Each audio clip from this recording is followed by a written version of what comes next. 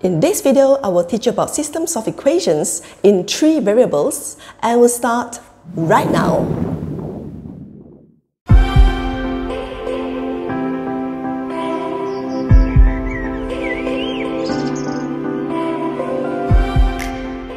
Hello everyone, my name is Shirley and welcome back to my channel.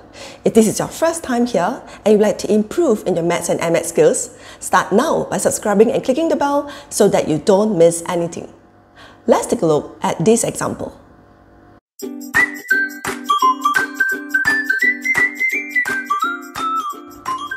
Let's look at this example. So I'm going to write down the question here, which is x plus y plus 2z equals to 5.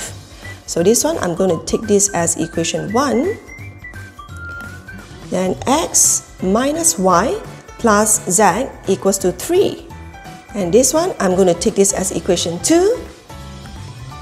Next will be 2x minus y minus z equals to 14. This one, I'm going to take this as equation 3. Okay, so we have these three main equations which are given. So we see what we can eliminate. So we can eliminate this y, okay, by adding together it becomes 0. Okay, so I'm going to use equation 1 plus equation 2. Okay, so equation 1 plus 2, so x plus x is 2x. So positive y plus negative y, so we'll get 0, which means that y is eliminated. Next is 2z plus z will be 3z. And then 5 plus 3 would be 8, equals to 8. So this is going to be my fourth equation, equation 4. Okay, next we see what we can eliminate. Okay, equation 1 and 3, we can eliminate the y. Okay, so just now we use this and then now we use this. Okay, so I'm going to use equation 1 plus with equation 3. So equation 1 plus 3, so x plus 2x is 3x Positive y plus negative y gets 0, so y is eliminated. And then 2z plus with negative z is positive z. Okay, so 5 plus 14 will be 19. So this is equation 5. Okay, next we're going to solve equation 4 and 5. Okay, so we're going to make this to be 6x. Okay, because I'm going to use elimination method. So I'm going to change this to 6x, so which means that equation 4, all the terms have to times 3. So equation 4, all the terms times 3. And then we get 6x, okay, plus 9z equals to 24. And this is equation 6. And then as for equation 5, I'm going to times 2 for all the terms. So equation 5 times 2. So I'll get 6x plus 2z equals to 38. Okay, this is my equation 7. So I'm going to solve equation 6 and 7, okay, by using equation 6 minus equation 7.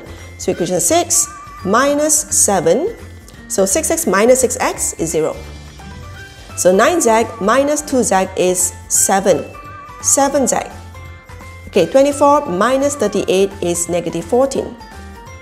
Okay, so now we solve the value for z. So z is negative 14 divided by 7 is negative 2.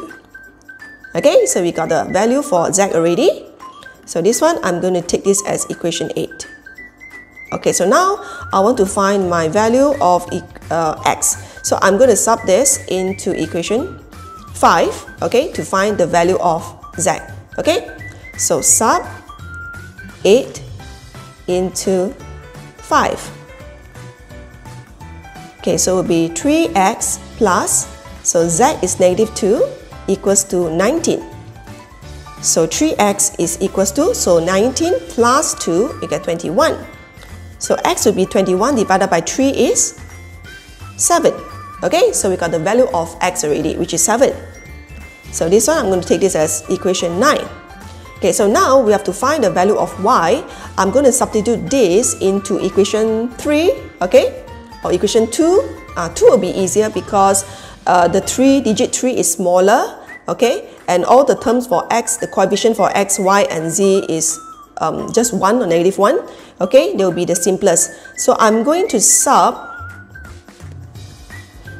8 and 9 okay into equation 2 because equation 2 is the simplest. So equation 2 will be x, I'm going to write this down again, x minus y plus z equals to 3. Okay, so x is 7 minus y plus z is negative 2 equals to 3. Okay, so negative y equals to 3 minus 7 plus 2. Okay, so negative y is, so 3 minus 7 plus 2 is negative 2. So therefore, y is equals to 2. Okay, so now we have all the three answers already. So we write the statement at the bottom. So therefore, x is equals to 7, y is equals to 2, and z is equals to negative 2. Okay? Well, that's all for now. If you want to know how to solve more challenging questions on systems of equations, stay tuned to my next video which is Systems of Equations Part 2 coming up soon. Bye!